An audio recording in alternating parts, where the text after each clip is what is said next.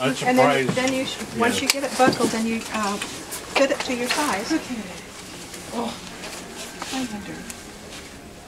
Cause it- we don't want it to Oh. float off. And Okay. we have a certificate of participation.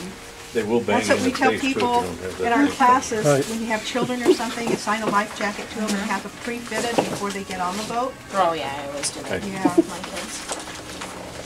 A lot of people don't, they, they're mm-hmm. surprised when they. But how when they see it. loose is it supposed to fit, or how tight is it supposed to fit? Yeah, that- Oh, yeah. Whatever's This comfortable was for you. loose. That's why it Oh. was not tight.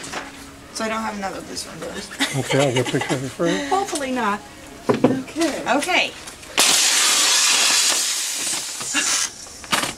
That's That how is quick. tight. huh. And It is cold too. And it's cold. Okay. There you guys go.